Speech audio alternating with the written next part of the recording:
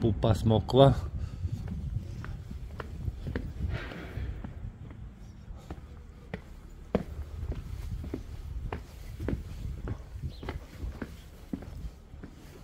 Evo domaćin prodaje ova vrata, ako neko hoće.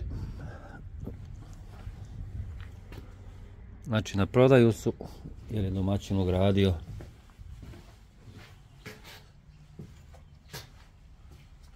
Ugradio je nova garažna vrata. I ova su vrata na prodaju, ako nekom trebaju.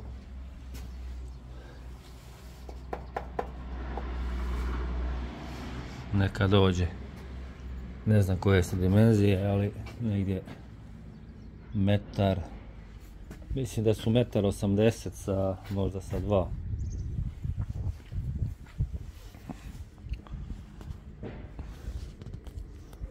Eto.